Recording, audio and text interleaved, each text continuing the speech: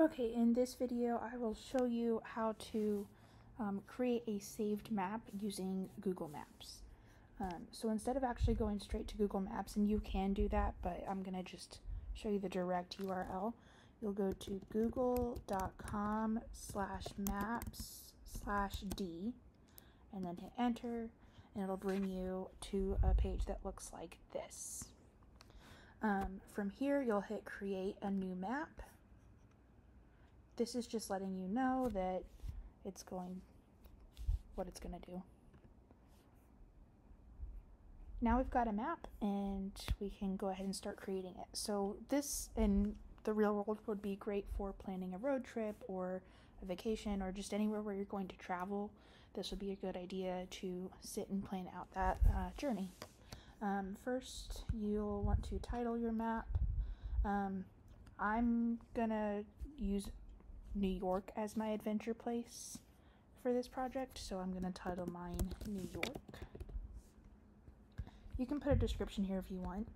Um, I'm going to say this is Adventure with Pythagoras. Okay, um, now like I said, I'm going to do my adventure in New York, so you can zoom in specifically on the state, or if you would like, you can just type it in the little search bar and then it brings you a pin right here.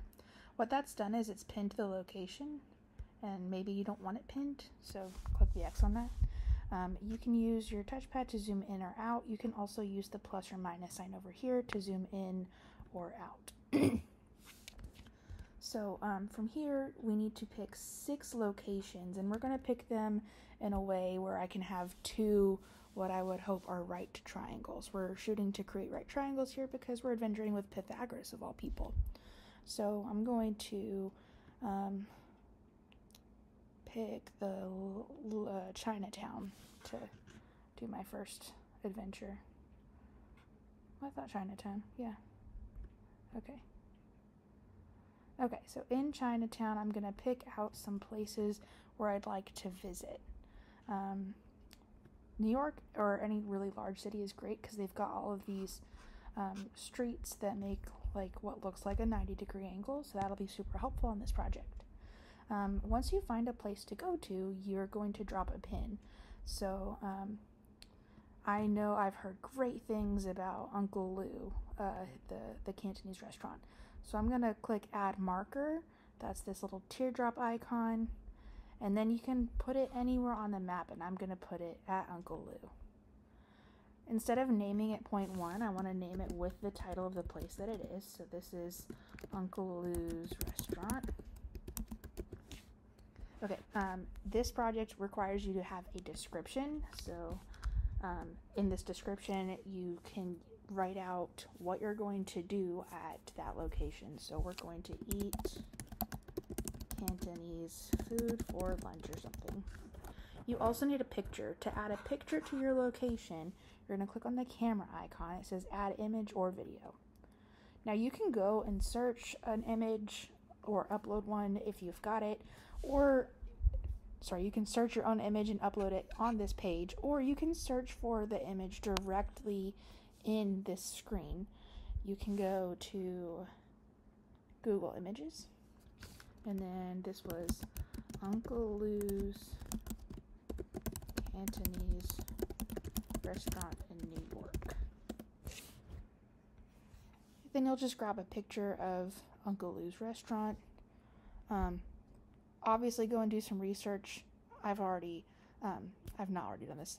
Um, I'm going to, for the purposes of keeping the video shorter, just uh, snag this first picture, and I'm pretty sure that's not actually Uncle Lou's restaurant. Again, you'll want to actually go do some research before just picking any random image here. Uh, sorry. So, whoop, there we go. After you select the image, it'll say insert, and then you can insert it. And now we've got one of our locations, Uncle Lou's restaurant. Here's the description and the picture. Then you hit save what that's done is it's put it uh, it's put this location under the word untitled layer um, uncle lou's restaurant on the pin on the map sorry you can see the pin is right here and when you hover over it uncle lou's restaurant uh, under the untitled layer got highlighted And again, if you hover over Uncle Lou's restaurant, the pin gets a little circle around it. Okay, um, so now I'm gonna pick two other things. You can customize that, so maybe there's a lot of other blue and orange colors here. So if I want it to stand out a little more, I can pick another color. I'm gonna use, um, I'm gonna use purple.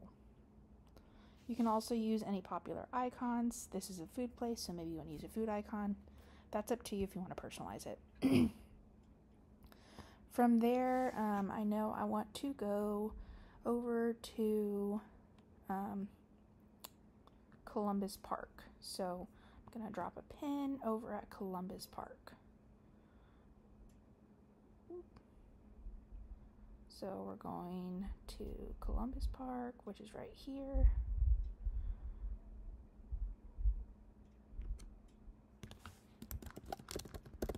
Columbus Park.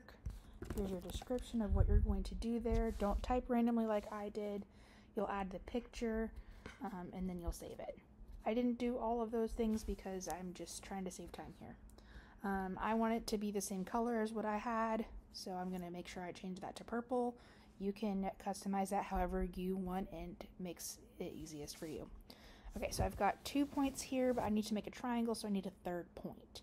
So now I'm going to get another one, um, another um, marker out, and you want to place the third point in a way that maybe creates a right triangle. So um, I've kind of got this line here. So to make a right triangle, I need to make a 90 degree angle off of either of those things. So if I go down to Columbus Park and kind of see a 90 degree angle, that's going to be just a straight line there. Um, I see nothing that I really want to go to. I've already got a food place. Um, you can use the hand tool so to move around in the map. Um, so maybe I want to look the other way from uh, from Uncle Lou's restaurant here, and I see New York Civil Court, and I'm in law school, so I want to go there. So, um, gonna make my pin there. New York, whoop. New York Civil Court. New York City Civil Court, sorry. Okay, and then your description and a picture as well. Save it. You can change the color from this little menu here or from over there under the words untitled layer. Okay, now what I have is what I think might be a right triangle. So from here, you're going to click draw a line. Now you're not actually going to draw one line. You're going to add a line or a shape, but it's going to be three lines. So click on each of your markers. So that was New York City Court. And now when I drag my cursor, it's going to create the line. So here's Uncle Lou's restaurant. And then here's Columbus Park and go back to the original starting point to create your triangle. Call this triangle 1 for the purpose of this assignment, please. Okay. Um, there we go. the triangle uh, title here does not need a description because your uh, individual locations will have the description and pictures. So you don't need that there. Um, if you'd like to change the color, you can.